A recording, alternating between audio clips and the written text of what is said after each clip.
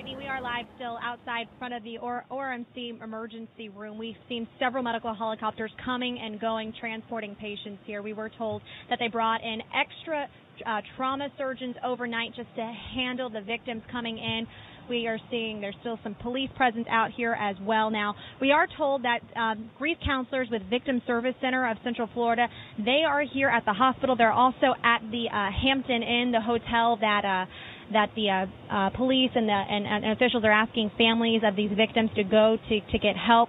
We're told they're they're helping those people, the people, the families, the friends, the loved ones who are just trying to get information and trying to learn more about what's going on. They're there helping those people now.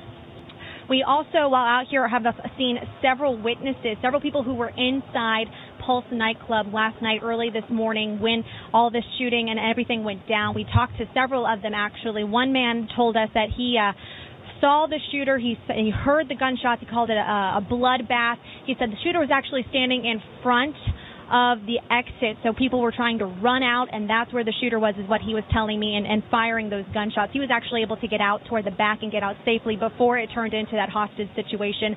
Now, another man I spoke to, he said he actually left the club 15 minutes before the shooting happened.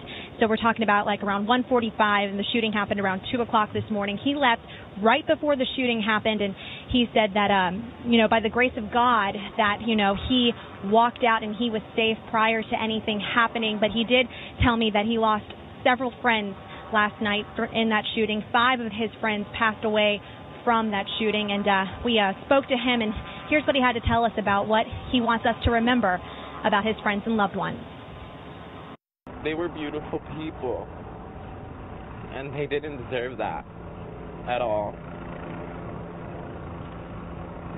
And I pray that when, when they go to heaven, that they see everybody that cares for them.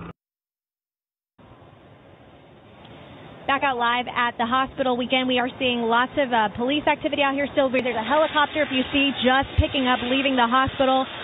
So they are still bringing in patients. We're told everyone who was here uh, from overnight and into today, they were in critical condition. We are waiting to get an update from uh, the hospital staff as to if there's been any updates in the number of victims and, the, and their conditions, anything like that. We haven't heard about that since uh, since this morning at the previous uh, news conference from earlier today. So we are out here again, just waiting to get to the latest. Hopefully, we'll get another update. There goes another helicopter, so it's quite still an active scene out here. Uh, we'll bring you the latest uh, once we learn more. Uh, Ginger, Justin. Amanda, thank you. And I'm sure this is a scene we will say, see play out for many hours to come. And